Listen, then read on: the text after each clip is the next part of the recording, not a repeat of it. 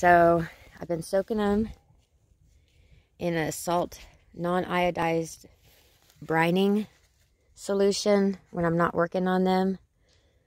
Um, I use non-iodized because I heard that it doesn't affect the color of the skins like iodized can.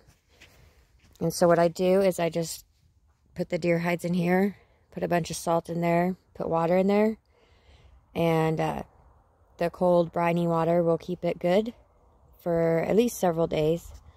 Right now, I am drying this one out completely. That's why it's covered in salt. And I'm going to roll it up and put it in a cold, dark place. And when I'm ready to work on it again, all I have to do is soak it in water for 24 hours. And it will soften back up like it was when I first got it.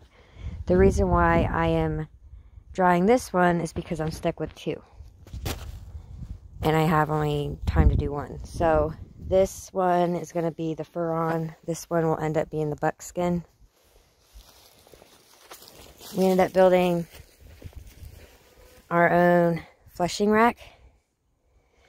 And instead of paying the $100 or more for one, I used like a cabin siding. It was $7 for, I think, seven feet of it. And we just cut it down to about five feet or so. And so that's what I've been fleshing the, the deer skin on. And over here will be where the hide will be stretched to um, to dry. It's not completed yet because I'm not at that stage yet. Um, but you just need something to keep the, the hide from shrinking as it dries. So right now, all I'm doing is salting this bad boy up so it could dry a little longer before I roll them out. Or roll them up tomorrow. It'll be a nice warm day again. So I'll have to roll it out and probably do the same process. Um, because it is warm, it is hard to tan, like to flesh and stuff. So I worked on get some more meat off of that one. And both of them, actually.